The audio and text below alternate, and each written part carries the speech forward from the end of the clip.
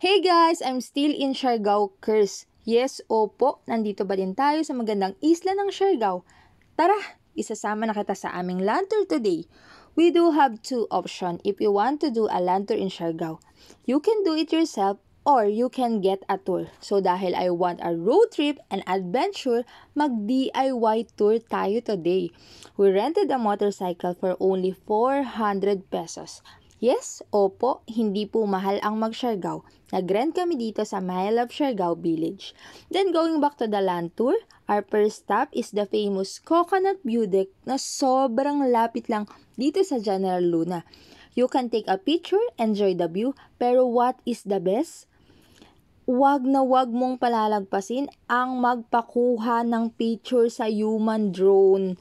Worth it ang result. May pa-jump-jump pa sila kuya. And then the best after, dumiretso na kami sa one of the best must-visit place which is Sugba Lagoon. It's located at Del Carmen na malapit lang sa airport. It's around an hour drive from General Luna. For boat ride naman, 2,150 good for 6 person na. It's about 360 pesos lang po each. Sobrang ganda ng Sugba Lagoon. Sobrang clear ng water at nakaka-relax.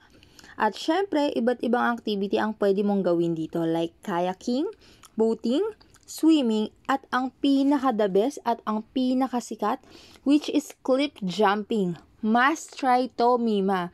Minsan ka lang pumunta ng Siargao kaya itry mo na. Next stop is at Magpupungko Rock Pool. Na sad to say na kami ng high tide. But the place is sobrang ganda at sobrang tahimik. At 10 pesos vehicle fee lang ang babayaran mo, Mi. Last stop for our land tour today is Maasin River. Optional lang ang Secret Lagoon, pero Mi, huwag mong palalagpasin ang chance na mapuntahan mo ito. Sobrang lamig ng tubig at nakaka-relax. Talaga nga namang Siargao magic na talagang babalik-balikan mo. Kaya ako, sobrang excited na akong bumalik ulit sa'yo, Siargao.